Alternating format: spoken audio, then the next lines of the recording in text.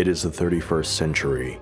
Earth is in the midst of a dire resource shortage due to the introduction of a drug known as fluoraldichlorophosphate. Boom, got one. Better known by the layman's term, anti-age. This new drug was designed to greatly extend the lifespan of the average human being. However, this also had the side effect of increasing the population by exponential rates as less people were dying of old age, and babies were being born into a world rife with increasingly overcrowded conditions and scarce resources. A stopgap measure was introduced to alleviate the overpopulation problem with the construction of orbital stations known as satellite holding bays. But these stations become filled with people quickly, and living conditions degenerate just as fast. In 3046, the Oxalex Corporation have perfected the Artificial Atmospheric Simulation Procedure, which makes the establishment of colonies on Mars a real possibility. As well, the resources on Mars could finally be exploited to alleviate the troubles of Earth and humanity. But of course, the human population continued to grow larger, and their industries required ever yet more resources to be fed. So, it was not long before Mars would eventually reach the point of resource starvation as Earth had. Colonization efforts on Venus and the other planets in the Sol system would eventually take up the resource burden for Mars, but eventually these planets too became devoid of resources. It became clear that Earth had to expand outside of their home system to survive. While the exact details in history are unknown, the Earth Empire had managed to successfully create their first warp hole to the nearby system of Alpha Centauri in 4175, thus opening up a new age of exploitation and colonization to the ever-demanding needs of Earth. Soon after, warp holes would be created to other systems, such as Draco, Diomedes, and of course, Gala-Nyr. But while the Earth Empire had solved its resource crisis for the foreseeable future, all was not well among the colonial populations. Discontent from colonists from every system outside Sol began protesting the brutal working conditions and harsh treatment by the Empire and its colonial navy. Any time a protest or revolt began formulating, the Imperial military would typically crack down hard. As discontent and rebellion grew, the Empire continued to tighten its stranglehold on the colonies. It was a matter of survival after all. Earth and the Empire needed the resources of its worlds to maintain itself and its populace. If Earth's colonies refused to work on their behalf, then the Empire's survival and power would be jeopardized and condemned to a slow death. It did not occur to the Tsar, the ruling leader of the Earth Empire, to lift their draconian means of control over their wayward sons and daughters or maybe even allow them a larger portion of the spoils of their work, instead of having Earth take everything for itself. No. Earth needed, nay, deserved those resources as they were the birthplace of humanity.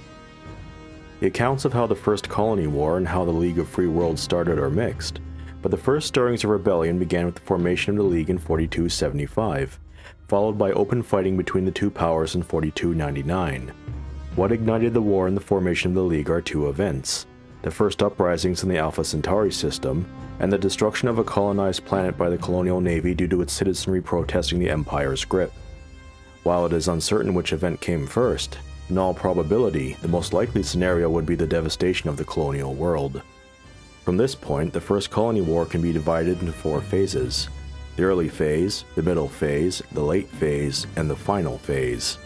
It must be pointed out that the First War was not one long continuous high-stakes struggle as there were several gaps between each phase in the war where conflict was presumably minimal. The early phase is counted as the span of time between 4299 to 4317, where the inexperienced warriors of the League found themselves either losing ground to the Earth Empire or forced into bloody stalemates.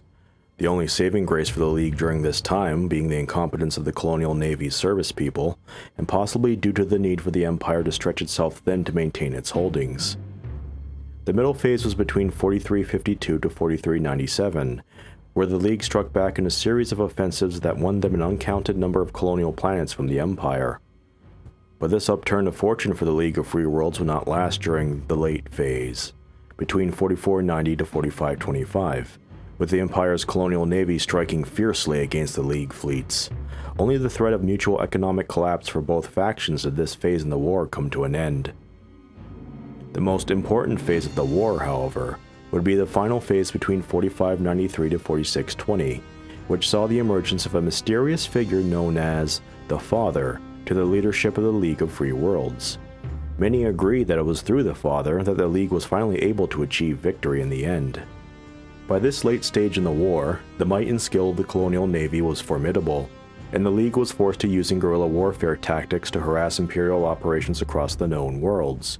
The League would continue to use these tactics well up into the turning point of the First Colony War, the Battle of Banai. The detailed accounts of the battle have been mixed, but it is known that the Tsar sent an overwhelming colonial navy task force to Galinar that was almost guaranteed to have the power to crush this upstart League once and for all. But the League of Free Worlds rallied and refused to allow the dream of freedom from tyranny to die. Over the skies of Banai, the League tore the colonial navy into pieces, forcing them to retreat from the system. The League of Free Worlds had accomplished the seemingly impossible. In one climactic battle, they stood against the full might of the Tsar and the Earth Empire and triumphed. Banai had become a symbol of the strength of the League's cause. Also, with the severe mauling of the Empire's navy, the League had bought themselves time to build their forces to fully secure their freedom from Imperial aggression. As it turned out, this was a prudent course of action. Perhaps unwilling to live with the shame of being turned back, the colonial navy invaded Galinar yet again. But this time the League of Free Worlds was more than ready, and even with the majority of the pilots and service people being inexperienced in combat, they turned back the Empire's lackeys in much the same way they did at Banai.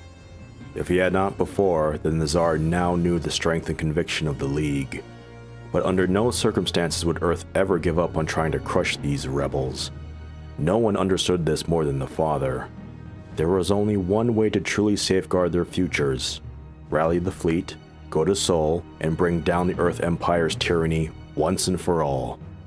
The father knew that any attack on Sol would be a foolhardy attempt unless the League could take the Draco system first. Draco was important to the Colonial Navy as its massive industrial base and research facilities made it the center for the manufacturing of weapons and military spacecraft. Simply put, in terms of the Empire's military, all roads went through Draco.